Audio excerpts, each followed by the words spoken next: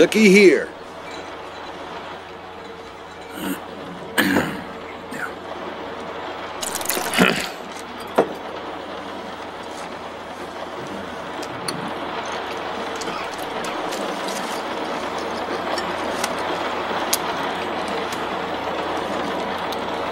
Evening, Randall.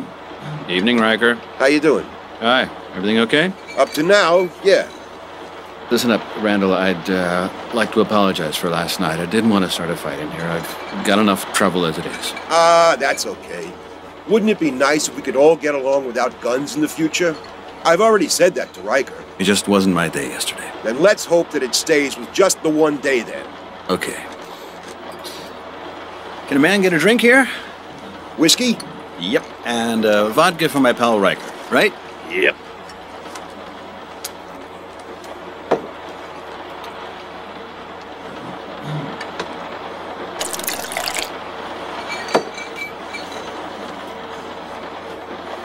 Another one? Hmm. You're a pretty tough guy, Doc. You think so? You don't really look like it. I'm not proud about it. It can't do any harm when a guy can be assertive from time to time. Oh, yeah.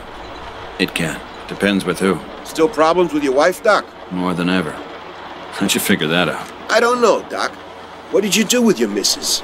Did you get, uh, assertive with her, too? I just did a whole bunch of stupid stuff. You. You didn't. What? Hit her? No. No. I didn't touch a single hair, never. It was an accident, you understand? It was just an accident. An accident? Yeah, sure it was, Doc. Come on, that's all in the past. You want another? I'm not so sure that would be good for me, Randall. Okay, then give me another one. Chin up, Doc. You'll get things fixed for sure. Yeah, maybe. I gotta go. Randall, uh, can you put it on the tab? Hmm. You broke, Doc? No, no, just got no cash on me. That okay? Long as you're not gonna leave the state. No worries. I owe you. Right then, till tomorrow. Catch you tomorrow, Riker. You're not still pissed off, are you? Not an issue. Cheers. I've gotta go. I'll come back again sometime.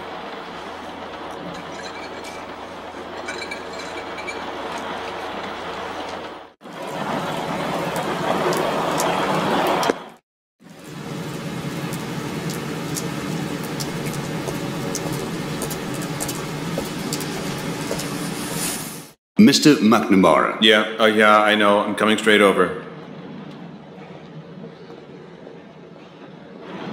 Mr. Flynn? Sir? This is really awkward for me, but, um. About the bill. Yes, sir. How should I say it? There's a um, small problem with it. How should I understand that, sir? Now then, it's uh, like this. Okay, listen, my account has been frozen. I have to go to my bank in Washington to reactivate the account. How unpleasant. You don't have any cash? No, still don't have any. And you don't know anyone who could help you out? No. Uh, th- that is perhaps. Look, okay, um, give me until tomorrow evening. I'll fix it. I will pay. You know that, don't you? Very well, sir.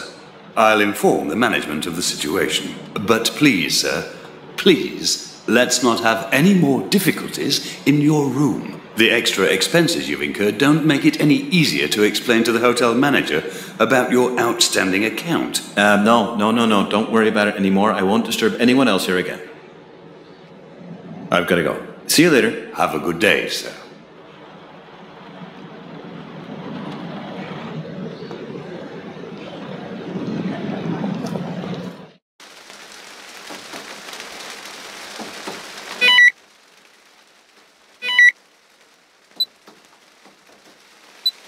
There's no point in calling again.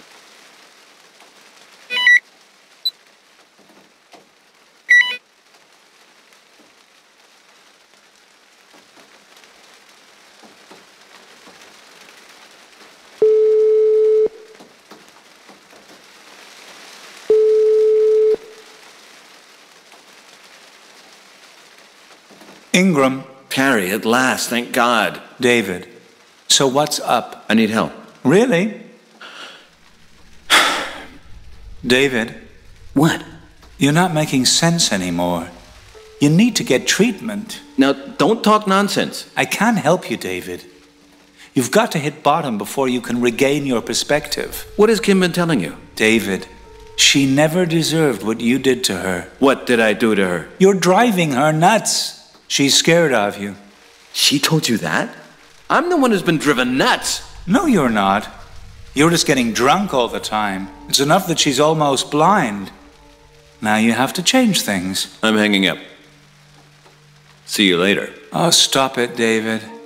It's no use anymore. Terry. I trust you. I'd like you to help me. Will you help me? I won't help you destroy your wife's life any further. Okay. So that's your view of friendship. You know what? I can do without that. If that's what you want to do.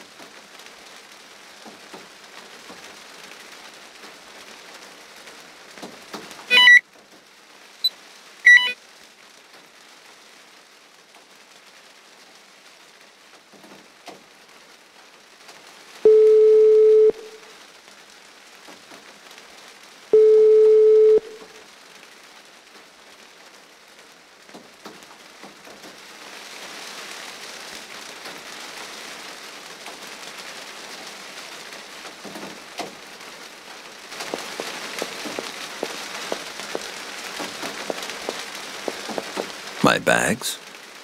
From our house.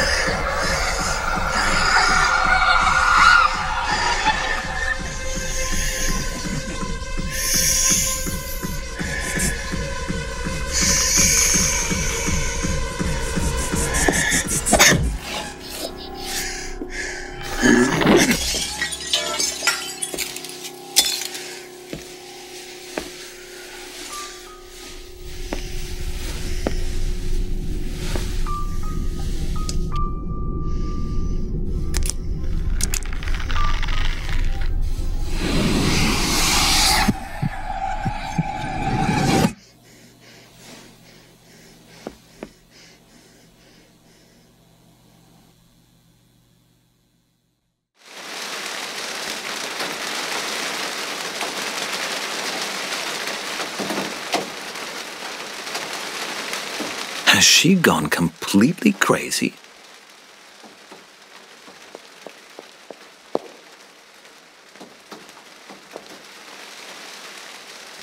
Ah, great. I've forgotten my coat. I can unpack those few things later.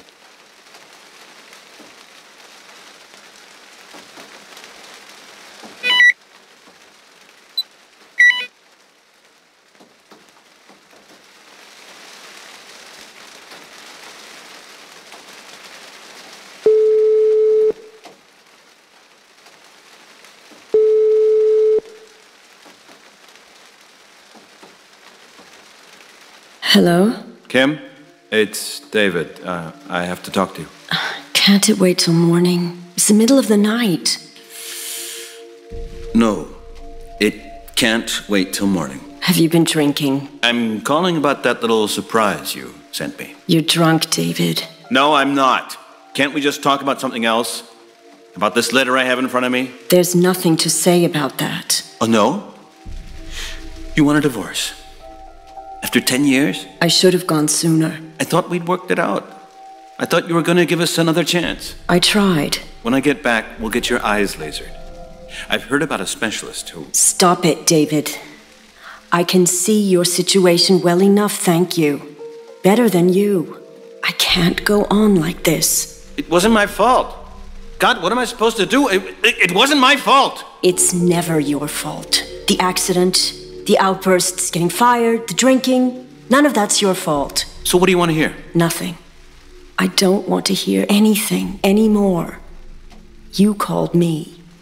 I'm sure you'll find a new apartment soon enough. You're ruining everything. There's nothing left to ruin. I'm tired. I've got to go. Wait.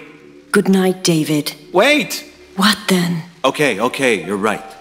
Um, but I still need my papers and bank documents, and uh, c- can you get to New York tomorrow and bring them with you? Why should I do that? Kim, let's not end this on the telephone. Please. Okay then. But I'm not coming to your hotel. You don't have to. Um, we can meet in Central Park tomorrow at 8. Okay? Uh, come to the lake. Kim? Are you still there? We'll, we'll meet tomorrow then? I'll call you if something else comes up. Okay. Till tomorrow then? Good night.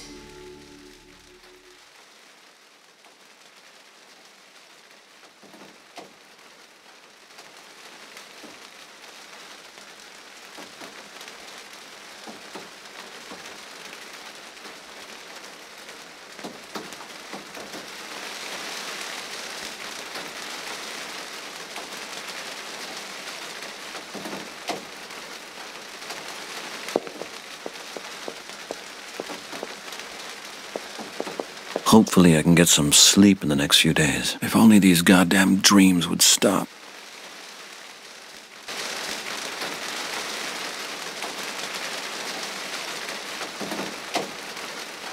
Record date Tuesday, November the 13th, 2007. Current examination status Further recollection reconstructions have been successful with all patients. All patients have revealed a thematic as yet unknown threat circumstance. Whether this is a collective delusion or relates to a real event cannot yet be established. That the five persons were at one and the same place can now be considered true. Indications of this being a military property are strengthening. In particular, the patient in cell number three refers to a radio room, and a military frequency has yielded a corresponding signal. Regardless, there has been no information forthcoming from the authorities concerning any such installation. Condition of the patients continues to be stable, Communication with all patients has improved. Fewer external stimuli are becoming necessary for the sessions. I anticipate further progress with the therapy.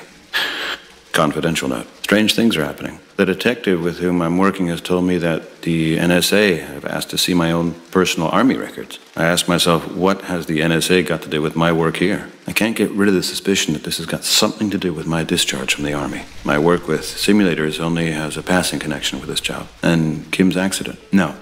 The investigations were closed a long while back. Although, uh, who knows? Maybe Kim's been in touch with them. I no longer know what else I should say to her. If I could give her my own eyes, I'd do it. She sends things to me at the hotel almost every day. I'm afraid that she's serious, and I can't do anything. When I call her, I, I lose it, and that only makes things worse. I've got to calm myself down. Maybe I can still sort things out. Maybe. I'm having bad dreams every night. The folks in the hotel are giving me strange looks. Confidential note ends.